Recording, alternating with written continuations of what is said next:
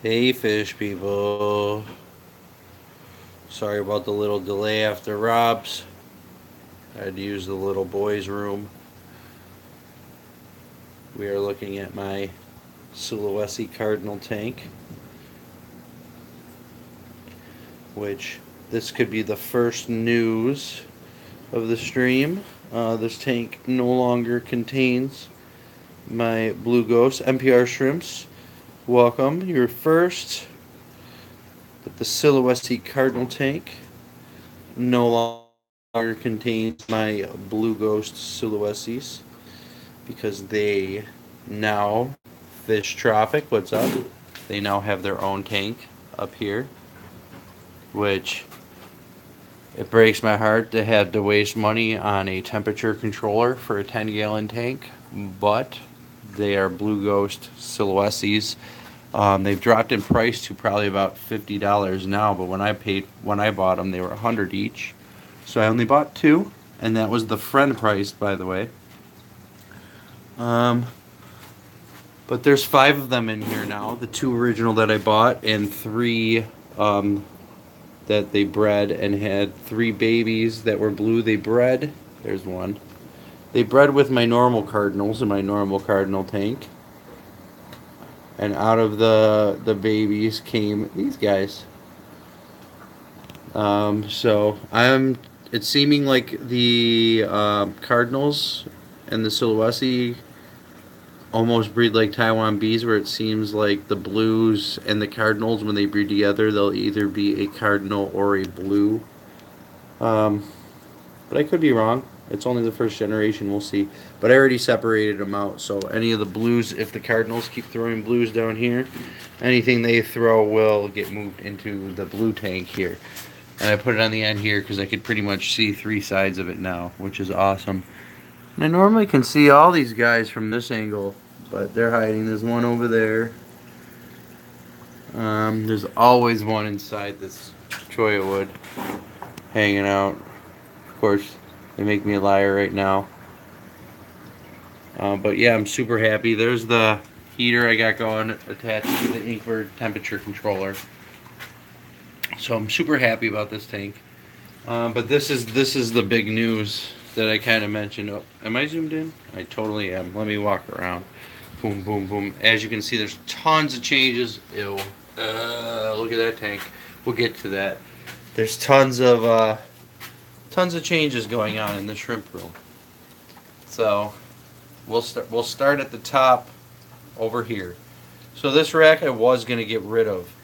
Um, if you remember this top row had uh, for those of you who don't watch, I guess I'll show you. But walking around out of the fisher. So we have a 10 gallon right here that used to be my original Sulawesi Cardinal tank. Um, I pulled it out it's in retirement for the moment until I can clean it out and uh, we'll get a reset. I also have another 20 tall over there that I need to get going, but we'll see. We'll get to them eventually, but right now I don't need them, so they're in retirement for the moment. Um, but this rack I originally wanted to get rid of, but um, as you can see, it's very cramped in here, and my stuff is everywhere. And I'm getting sick of it. My wife's getting sick of stuff being everywhere.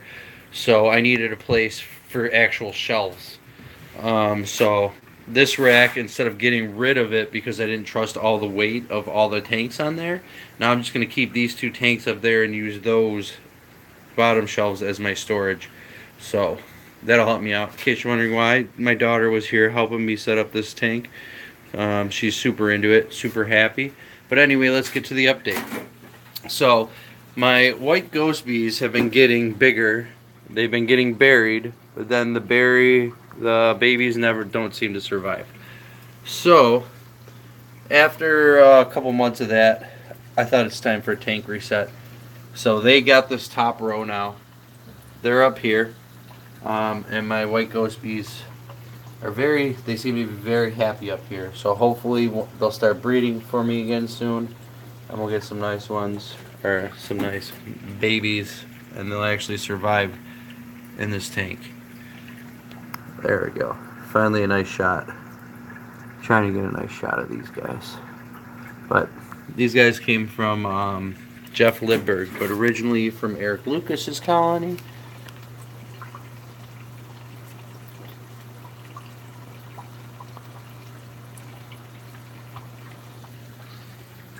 How big is my RO?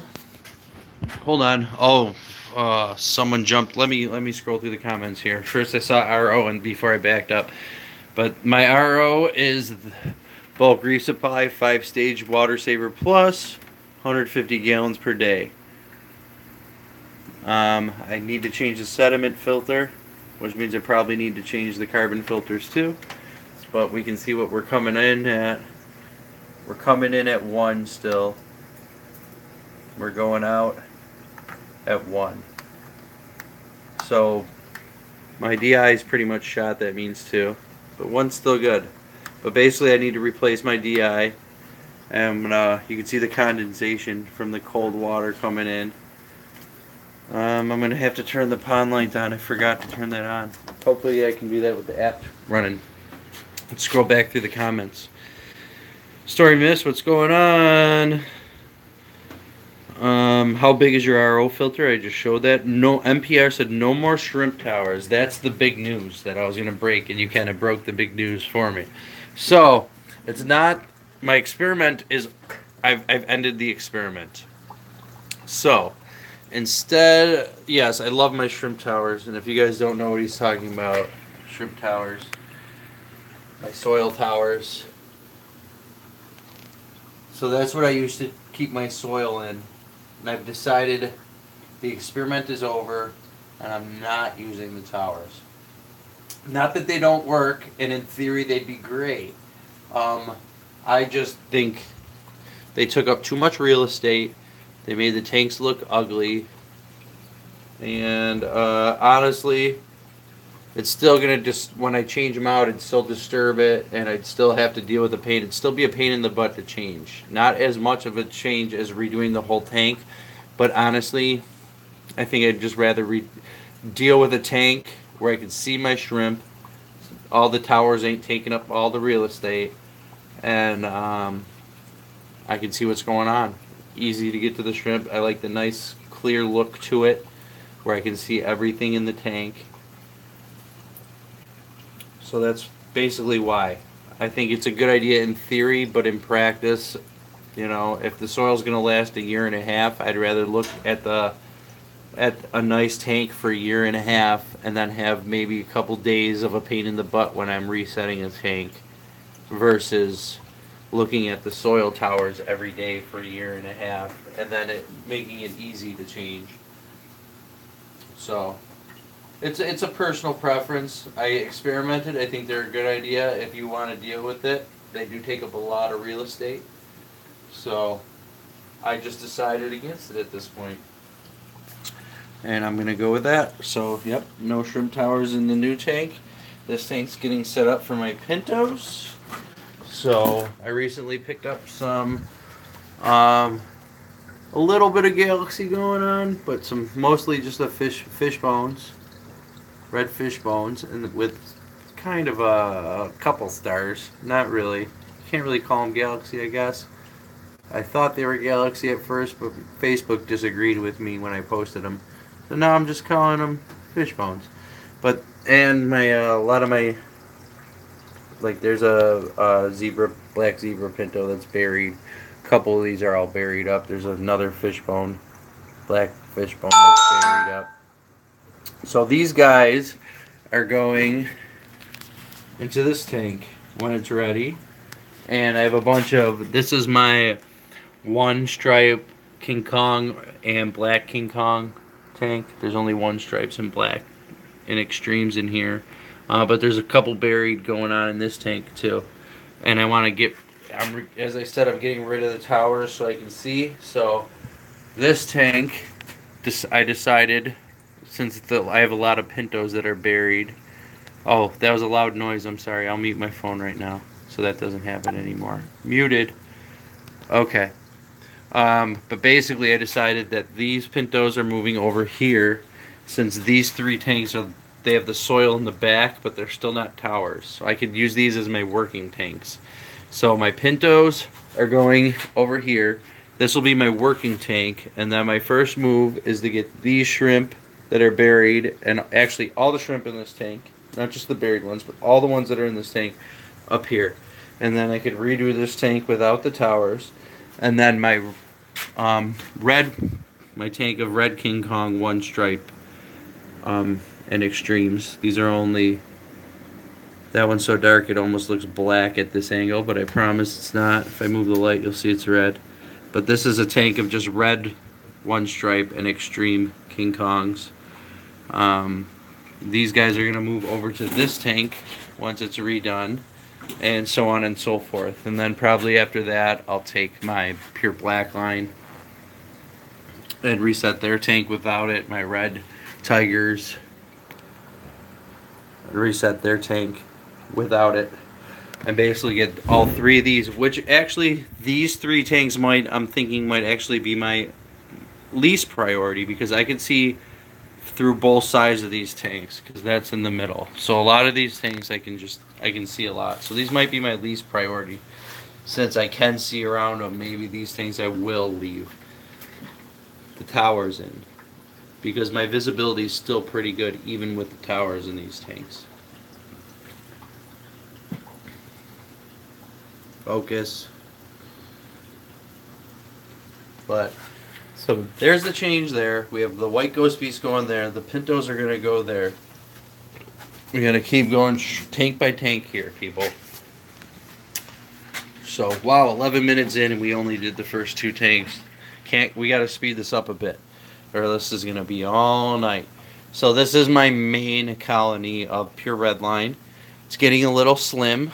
If, for those of you who are members of the USA Freshwater Shrimp and Plants uh, group and the sister auction group. I have been having auctions, auctioning off these bad boys.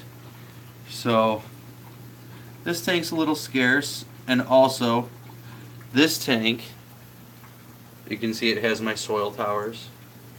I've decided that the taller tanks, I'm going to leave the towers.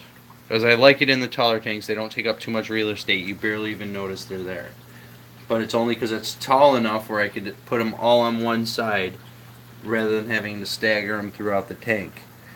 Um, so this tank I'm actually probably going to stick with the towers and let these PRL do their thing until they get back up.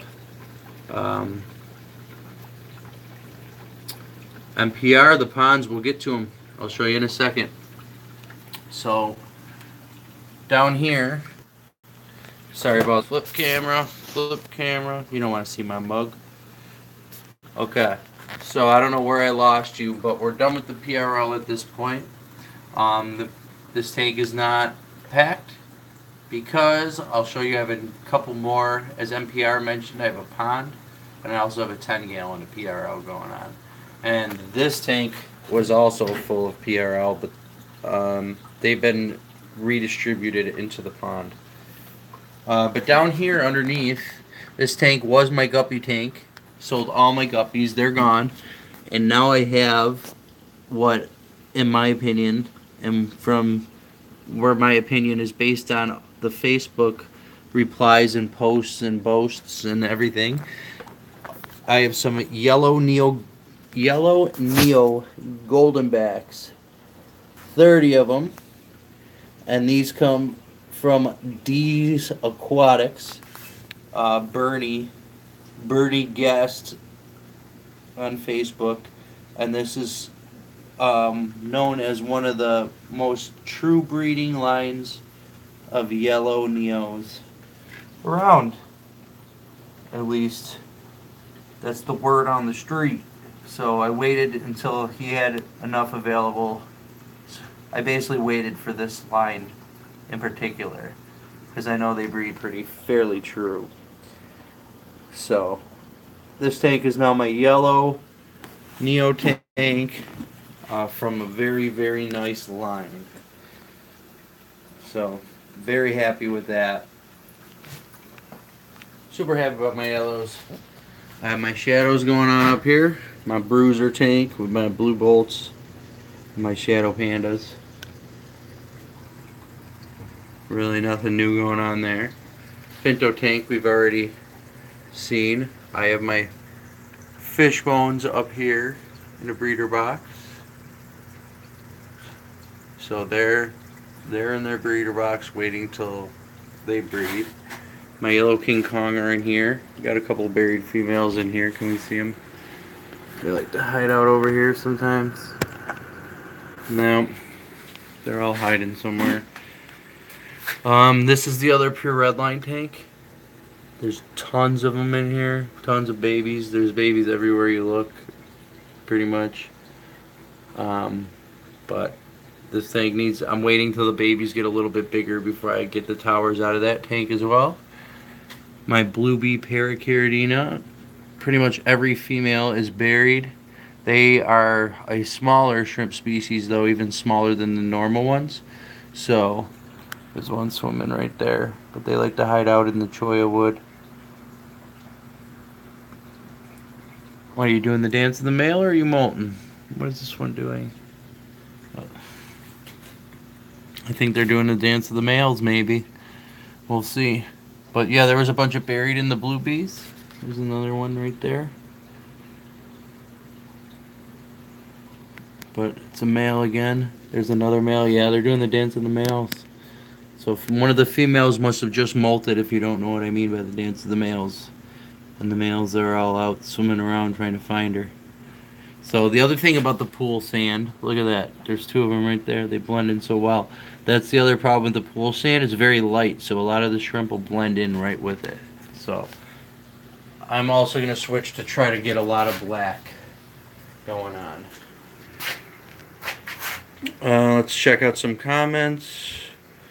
What are good shrimp to pair with Black King Kong? Um, pretty much any Taiwan bee. Taiwan bees you can put together and they'll be straight Taiwan bee. Did you miss the cardinals? No, come over here. I haven't really shown, I've shown the tank, but I haven't shown a close-up of them yet. So I guess we'll do that next. A lot of these are berried up, so we'll probably see a bunch of berried. So, but they, the cardinals like to hang out under the rocks in the shadows. And obviously you can see how much algae's in the glass because I don't like to clean the glass.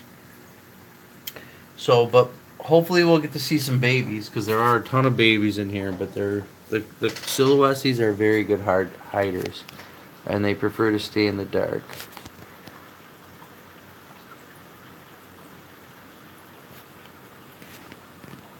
But these are gorgeous, gorgeous shrimp as you can see they're pretty. Very pretty. And they're pretty much everywhere. Starting to have a bunch of these even though you've just got to look under the rocks but they're pretty much under every rock all over. Let me try to zoom out here. Zoom out. Maybe there's one in the light, so you can actually see the color. What they look like in the light. Beautiful.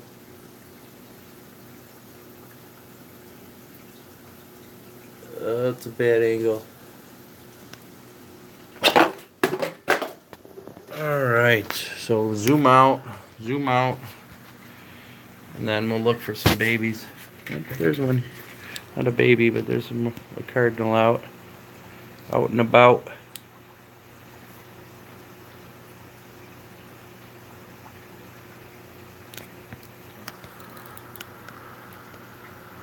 YouTube app is so bad with the focus.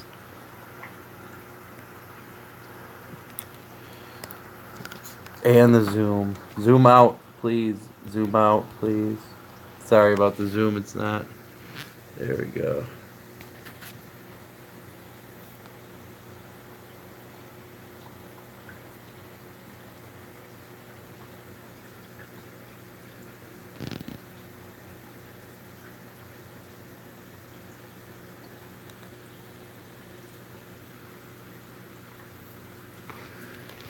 Very pretty. Where are some babies? There's usually a lot of babies. They're inside the cholla wood though. A lot of these, I haven't seen any berried females right now.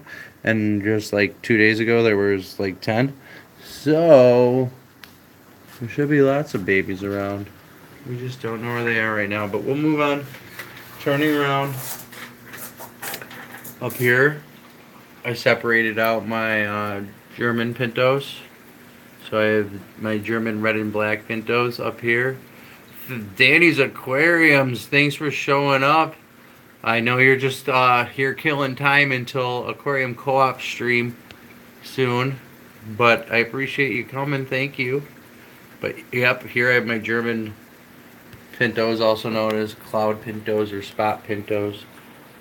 Um, but they're awesome. Over here I have my Bloody Mary tank that I've been, uh, these are Bloody Marys that I pulled from my sapphire shrimp. So we're going to see what happens with that. So my sapphire shrimp is here, my main black diamond, blue diamond colony of sapphire shrimps. Um, they are here. Here's my normal colony of Bloody Marys. These I bought from So Shrimp. Um, they're beautiful. And I don't mix my... And here are my culls. I have my brown culls from my... Uh, well, my brown culls from my sapphire shrimp. And up here are my blue culls from my sapphire shrimp and all the Bloody Marys between those through these this tank, this tank, and this tank go into this tank. Um, so I'll get a bunch of Bloody Marys and they'll go in there. Hey, what's up? Um, Surgeon Tanks is here.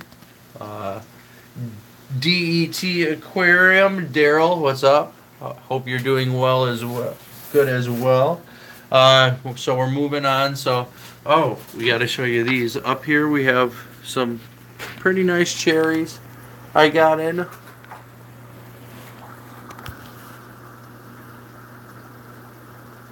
And by pretty nice, I mean fantastic.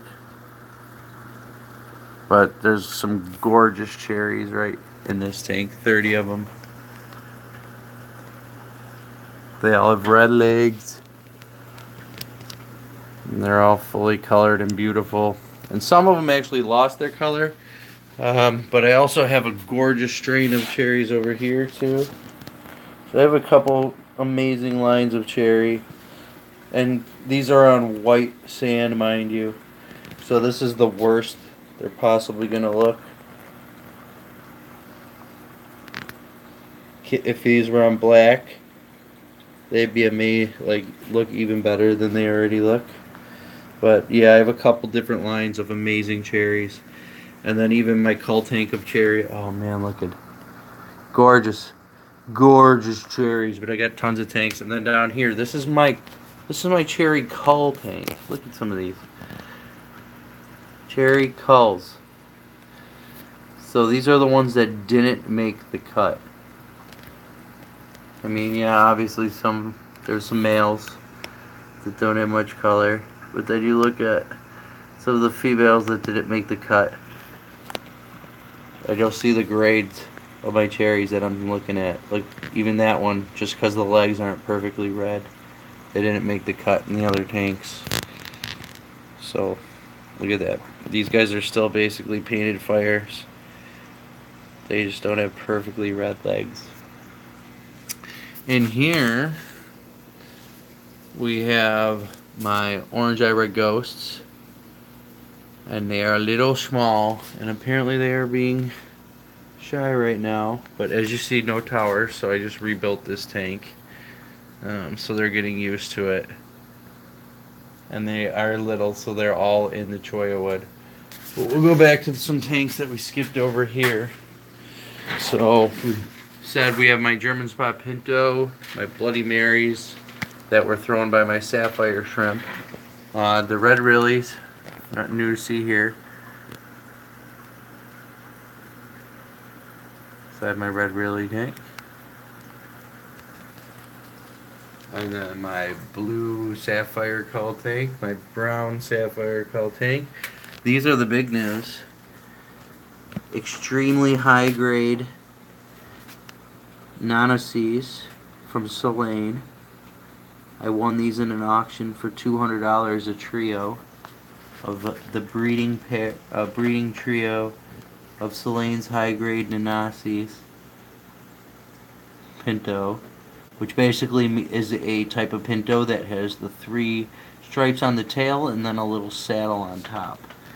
And that describes it. But these are uh, the super high-grade breeding trio. Where's the other one?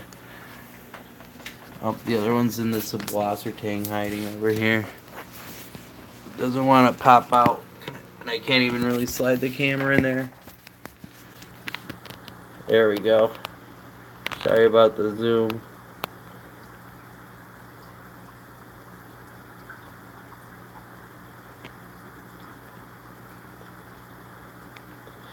Beautiful shrimp. Beautiful. See that? Look at it. Even in the tall tape. That's like a perfect black diamond. Some people would say black rose. But. And here I have Santas. Zoom out. Santas from Vind. I got these from Eric Lucas. They were $190 for 10 of them. I'm hoping they get a little bit more color. I don't know, they're on the white sand, so I'm not crazy about the quality of the red on them. There's still a lot of clear. But they are Santa grade. There's 10 of them in there. 10 of these Santa grade guys, but like I said, you could see. I don't know if it's because of the sand, but they're not super, super red. They got some clear to them, but we'll see. In here we have orange eye blue tigers. And everyone's hiding because the light was out before I came down here. And now uh, it's not. And when I turned it on, they all went poof, goodbye. So we saw the my Bloody Marys from Stone Shrimp. These are the my good, high quality black diamond, blue diamonds that I keep in here. That's the main mean, good quality. Here are my pumpkins.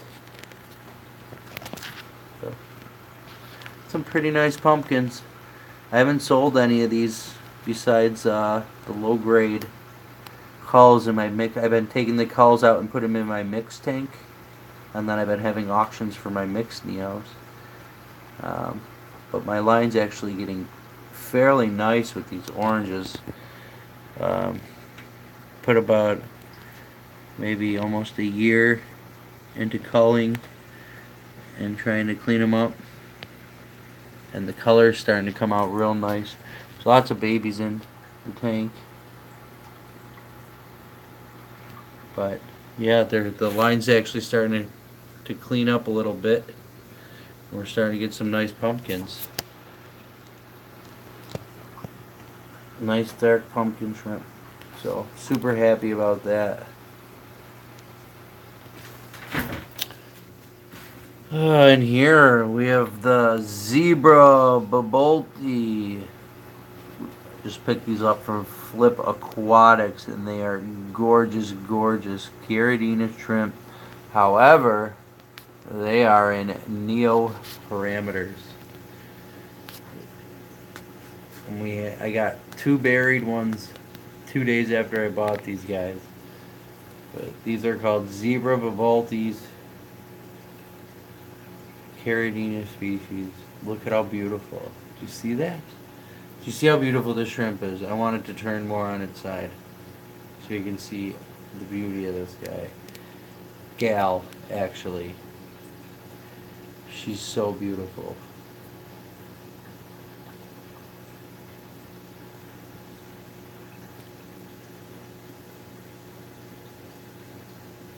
Yeah, they are. I'm super happy with these. Got 10 of these. I saw a picture on Facebook and I scooped them up and then within a half hour they were already sold out. So here we have my black rose. Black rose. And then we saw my cherry culls.